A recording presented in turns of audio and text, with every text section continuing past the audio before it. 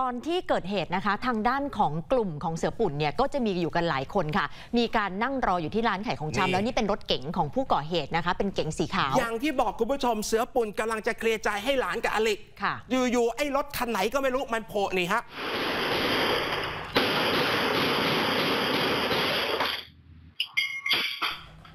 นี่คือยกแรกที่มีการยิงสิบกว่านัด ใช่ค่ะล้างโอ้โหใครเนี่ยนี่คือพักพวกของเสือนี่ปุ่น ฮะปุ่นฮะอุ้ย อุ้ย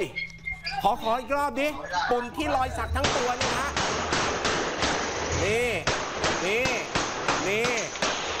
อยู่กันเป็นฝูงเอาเอากลับไปใหม่เห็นไหมเสือปุ่นเหมือนถืออะไรอยู่ในมือไม้เมกบอลหรือเปล่าไม่แน่ใจพี่ปุ่นหลังจากนั้นกระจาย คุณผู้ชมครับพอกระจายเสร็จนี่คือยกที่หนึ่งค่ะปรากฏว่าพักพวกเสือปุ่นขี่รถตามรถคันที่ยิงกระหนำ พักพวกเสือปุ่นขี่ตามแล้วก็โดนยิงละลอกสองอีก อ้าว ดูคลิปวงจรปิดละลอกสองฮะ พอตัวนี้กลับไปละลอกสองละลอกสองอีก 8 นัดใช่ค่ะ พอหลังจากจุดนี้แล้วก็จะเห็นรถเก๋งเนี่ยมีการอันนี้เป็นอีกมุมหนึ่งค่ะ ที่ทางด้านของหนึ่งในผู้บาดเจ็บเนี่ยก็คือในต้ากระเพกกระเพกหนีเนี่ยนะคะหนีหลังจากโดนยิงใช่ค่ะและนี่ฮะโอ้โหยเ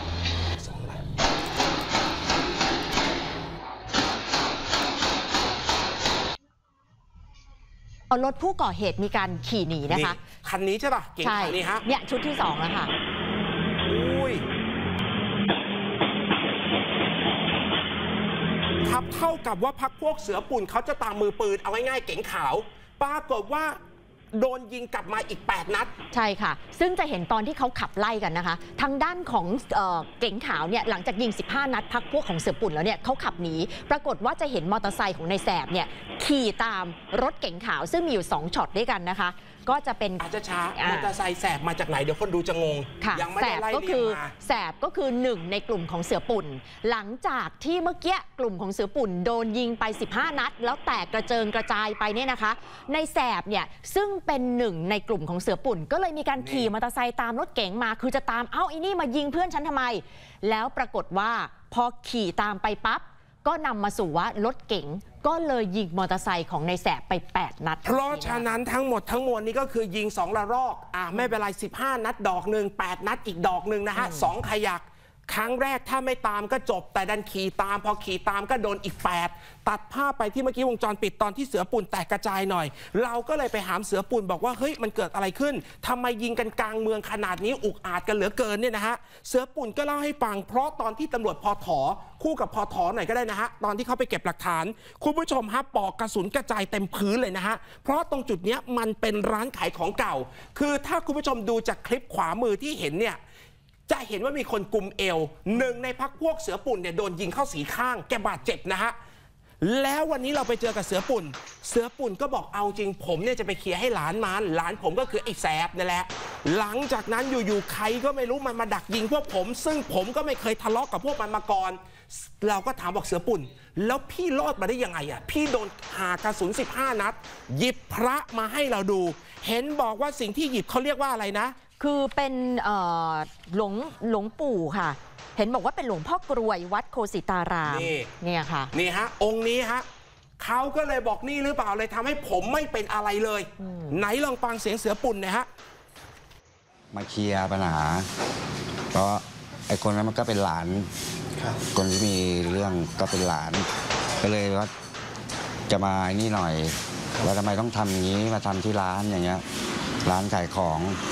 ก็เลยมาตรงที่เกิดเหตุนะครับ เลยโทรหาญาติเขาก็คุยกับญาติเขา เสร็จปุ๊บสักพักหนึ่งก็ประมาณไม่เกิน 15 นาทีผมก็ลุกก็จะกลับกันแล้วก็กะไม่เป็นไรเพราะเดี๋ยวพรุ่งนี้เช้ากะเข้าไปคุย ก็เลยจะกลับกัน พอจะกลับเสร็จปุ๊บก็มีรถนิสสันมา ขับน่าจะมาไม่ทางนี้ก็ซอยข้างๆแหละมาทางนี้ใช่ไหมเนี่ยน่าจะมาซอยนี้ มาเสร็จแล้วก็ ผมก็ยืนยืนอยู่อยู่ข้างถนนนะครับ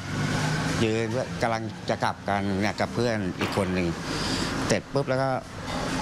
ไอ้ข้างหลังไอ้คนนั่งข้างหลังอะพี่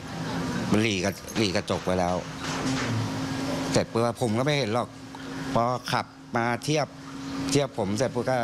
ก็ยิงเลย ยิงยิงเข้าผมคุณผู้ชมครับ มันก็มีมุมน่าสนใจวันนี้พอเราตามไปที่จุดเกิดเหตุเนี่ยเปิดหน้าร้านขายของชำหน่อยดีฮะค่ะเพราะประเด็นก็คือเสือปุ่นจะไปเคลียร์ใจให้แสบ ซึ่งเป็นหลานแล้วก็โดนยิงถล่มปรากฏว่าวันนี้เราไปเจอกับพักพวกของเสือปุ่นนะครับคุณผู้ชมถ้าเห็นวงจรปิดเมื่อกี้เนี่ยตอนที่เราขึ้นภาพให้ดูเนี่ยคือกะเอาตายเลยนะฮะค่ะแต่โชคดีคือไม่มีใคร ตาย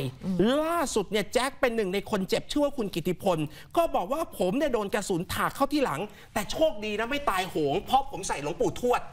คำถามคือแล้วใครกะจะฆ่ากลุ่มพวกพี่ เพราะพวกพี่ยืนกันอยู่เนี่ยน่าจะเกือบ 10 คนนะฮะนี่ฮะแปลกมากขอวงจรปิดเมื่อกี้ตัวด้านหน้าร้านหน่อยดิอีกตัวหนึ่งอะที่จะเห็นว่าฝูงเขาเนี่ยยืนกันเต็มเลยถนน แล้วเข้าใจว่านี่ๆเห็นไหมฮะเนี่ย คุณผู้ชมเอาจริงเนี่ยควรจะตายนะ เพราะกระสุนเนี่ยน่าจะเข้า แต่อิทธิฤทธิ์ตามความเชื่อของเขาหลวงปู่ทวดทำให้รอด มีรถขี่มาเฉย พวกผมก็ไม่รู้อะไรประมาณนั้น แล้วเขาก็เปิดกระจกครึ่งหนึ่งแล้วก็ยิงปั้งปั้งปั้งปั้งเลย แล้วผมก็หลบ ตอนที่ตอนตอนที่หลบอะผมผมรู้ตัวแล้ว มันมันรู้สึกก็ปุ๊บปุ๊บแค่นั้นบอกว่า ผมบอกน้องชายผมว่า กูโดนไล่โจ๊กกูโดนยิงดูที่ดูที่เข้าเปล่าเข้าเปล่าอะไรอย่างเงี้ยมาไปมามามันแค่ถาก อะไรอย่างเงี้ยครับ ผมก็ไม่รู้ผมมากับเขาครับ ผมก็มา กับเพื่อนอะไรอย่างเงี้ยมาดูแลกันอะไรอย่างเงี้ยอืมแต่ว่าเราพอรู้ว่าเพื่อนเราไปมีเรื่องอะไรกับใครบ้างไม่ไม่ค่อยจะรู้หรือว่าคุณผู้ชมครับ เพราะฉะนั้นทั้งหมดนี้ตำรวจยังต้องติดตามนะฮะ ยังไงก็ตามอันนี้ถือว่าอุกอาจมากๆ ไม่เข้าข้างใครต่อให้เสือปุ่นเขาจะดูเหมือนกับน่ากลัวหน่อย ขอเปิดภาพรถคนร้ายหน่อยฮะ ที่เห็นชัดๆเลยคือเก๋งขาว คือถ้าตำรวจจับไม่ได้นี่คือหยามตำรวจเลยนะ ภาพหลาชัดซะขนาดนี้นะฮะ เสียดายกล้องไม่ได้เป็นไฮเดฟนะฮะ ขอเอาตรงเมื่อกี้เนี่ยไอ้ตรงหน้าร้านอะเนี่ยฮะเอาตรงหน้าร้านมันจะเป็นสีเป็นสันหน่อยนะฮะคือมั่นใจว่าตำรวจงานนี้ไม่ควรจะปล่อยให้หลุด วงจรปิดหน้าร้านครับ ภาพที่เมื่อกี้เห็นรถนี่ฮะเนี่ยอันนี้คือสีเลยอืมหยุดใหม่สิเอาให้มันตรงกลาง นี่ฮะเพราะว่าเนี่ยคุณผู้ชมดู คำถามคือเปิดกระจกล่าสุดเนี่ยเปิดภาพพี่เสือปุ่นหน่อย เห็นบอกเสือปุ่นบอกว่าเอาจริงระหว่างที่กำลังไล่ล่ากันเนี่ยนะฮะเห็นบอกว่ามันไขกระจกลงมา แล้วเขาจำหน้าได้ด้วยเหรอมีบางคนจำหน้าไอ้คนในรถได้ใช่ไหมใช่ค่ะ บอกว่าพอเปิดกระจกลงมาเนี่ยมีคนหนึ่งในกลุ่มของเออเสือปุ่นเนี่ยบอกจำหน้าได้ว่าเหมือนกับว่าเป็นลูกน้องของตัวเขาที่เคยติดคุกด้วยกันอ่าแล้วก็เคยเลี้ยงดูในคุกด้วยกันมา เหมือนเป็นลูกคนหนึ่งเลยก็ว่าได้ แต่ว่าเดือนที่แล้วมีเรื่องชกต่อยกันมา ก็เลย บอกข้อมูลนี้กับเจ้าหน้าที่ตำรวจไปแล้วค่ะอ้าวรอดูพิสูจน์ตำรวจว่าจะจับได้ไหมอุกอาจมากนะฮะ คนที่ซวยคือใครไหมฮะ ร้านขายของชำเห็นบอกวันนี้ซวยเลยเพราะพี่เสือปุ่นดันมานั่งปักหลักกันอยู่ตรงหน้าร้านค่ะเปิดภาพร้านขึ้นมาให้ดูหน่อย เพราะล่าสุดร้านเนี่ยเห็นบอกเขาพาไปสำรวจใช่ไหมใช่ค่ะกระคุณสุนเนี่ยยิงเข้าทะลุเขาเรียกอะไรไอ้มุ้งมุ้งเหล็กขเนี่อยงค่ะเขาอะเนี่ยฮะคุณส้มเจ้าของร้านของชำบอกเนี่ยทะลุจากไอ้ตรงบริเวณประตูเหล็กประตูด้านหน้าเหล็กประตูเหล็กเนี่ยโอ้โหทะลุมาถึงสวยจังเลยตู้ฮะด้านหลังเนี่ยค่ะคุณผู้ชมคะโอ้โหเข้ามาในบ้านเขาเลยอะค่ะ มันประมาณ 10 15 นัดคือนัดเซตที่1ค่ะ8นัดคือเซตอืม 2 รวมเบ็ดเสร็จก็ 20 กว่านัดนี่ฮะเขามีคนอยู่ร้านป่ะตอนยิงถล่มเข้ามา เขาบอกเขานอนอยู่ชั้นสองโอ้โหตอนแรกเขาก็ได้ยินเสียงแล้วแหละว่าเฮ้ยเหมือนเขาชะโงกหน้าออกมาดูเออ เฮ้ยเสียงอะไรกันเนี่ยมีการยิงกันเนี่ยนะคะ แล้วปรากฏว่าพอเขาเดินลงมาดูเนี่ยหลังจากเหตุการณ์มันผ่านกันไปหมดแล้วคนวิ่งหนีกันไปหมดแล้วเขาบอกโอ้โห ตกใจเลย ในบ้านเขาเนี่ยกลายเป็นว่ามีลูกกระสุนเนี่ยนี่ทะลุออกมาเยอะแยะแบบเนี้ยค่ะ มีเสียงเจ้าของร้านมีด้วยเสียใช่งไหมค่ะไหนมีเสียง ลองฟังค่ะเสียงเธอหน่อยฮะ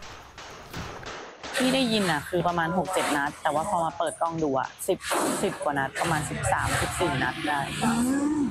แล้วตอนที่เราเปิด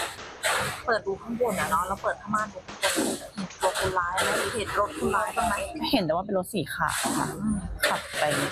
หน้าตลาด อะ คุณผู้ชมครับ เดี๋ยวรอพิสูจน์ฝีมือตำรวจเชื่อว่าตำรวจคงไม่ปล่อย เพราะค่ะถ้าปล่อยได้